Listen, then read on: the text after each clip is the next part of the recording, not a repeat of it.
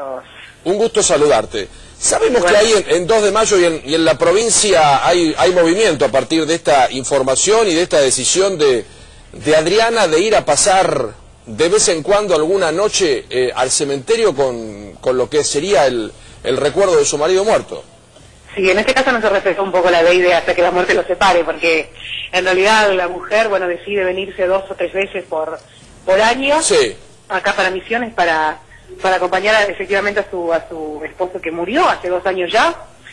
Eh, y la historia la verdad es que sí, revolucionó, revolucionó por lo, por lo extraño, nos, generó curiosidad más que nada, ¿no? Ella lo tomaba con mucha naturalidad, decía, la verdad es que yo no sé por qué llama tanto la atención a ustedes, la verdad que para mí es algo natural, cualquier mujer que ama haría algo semejante, me decía, ¿no? eh, pero bueno, eso está, está a gusto de... Y Julieta, ¿cómo lo hace? ¿Nos contás? ¿Llega? ¿Qué hace? ¿Cuál, cuál es el proceso de, de acompañarlo y dormir? O... No, bueno, ¿Cómo es? Es así, el, marido eh, murió hace, hace dos años, como les dije, eh, y su sueño en vida, el sueño del marido en vida, era venir a vivir a 2 de mayo, ¿no?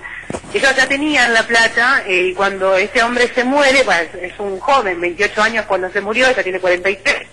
Ah, ella es mucho mayor que él. Ah, ella es una mujer mayor. Ah, perfecto. Mm. Bueno, él tenía, tenía 28 cuando se murió, se ah. suicidó, él todavía las causas de la muerte son poco poco claras, ella dice que es por una depresión, porque ellos estaban juntos, pero ella por trabajo tuvo que irse a México, ¿no? Sí. Eh, entonces, bueno, dicen que él se deprimió y que por eso decidió quitarse la vida. Igual, prefiero no indagar mucho en las causas de la muerte.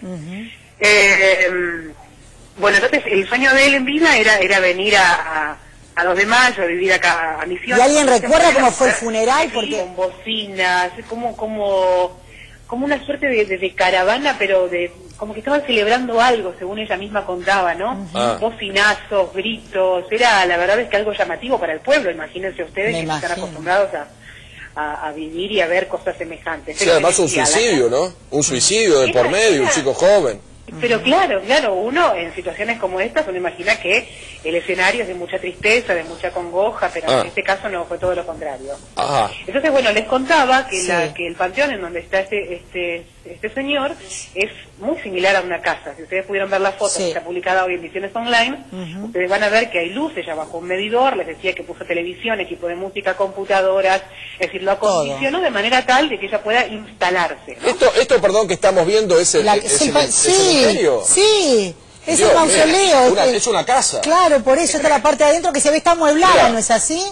Está amueblado, el panteón está amueblado. De hecho, creo que la, la tapa del cajón, ustedes van a ver, eh, tiene vidrio.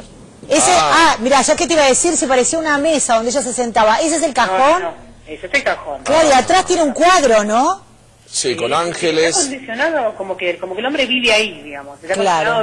hay flores ahí, está ¿Y ella, ¿Y ella cuando llega a dormir se acuesta al lado, tiene cama o se pone una, un colchón? Ella, no, no, ella tiene, tiene su, su, su cama ahí, escucha música. De hecho, el caso salta a la luz por la queja de los vecinos claro. que escuchaban cuando iban a visitar a sus a sus, a sus familiares fallecidos, escuchaban música dentro del panteón. Entonces se quejan a la policía, la policía va y observa y la ve a ella ahí, y ella, bueno, dice que bajó la música para respetar el dolor de los de los vecinos, pero en caso falta la luz por eso.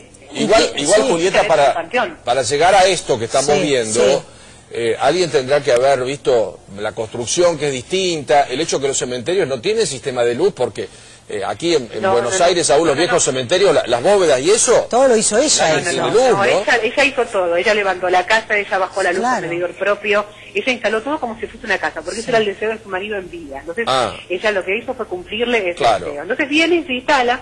Entonces nosotros le preguntábamos, bueno, pero ¿qué haces durante el día? Porque va a la noche a dormir, pero durante el día algo tiene que hacer. Y dice que va y visita a los suegros, a algunos familiares, y después va y se instala, digamos, y se pasa el día ahí adentro.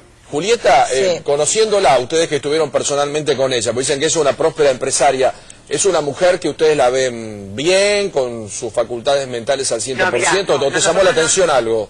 No, nosotros no la vimos personalmente. Yo la ah. saqué al aire, en el programa de radio que yo tengo a la tarde. Sí. La ubicamos porque está por Misiones ahora. Ella vive en Buenos Aires.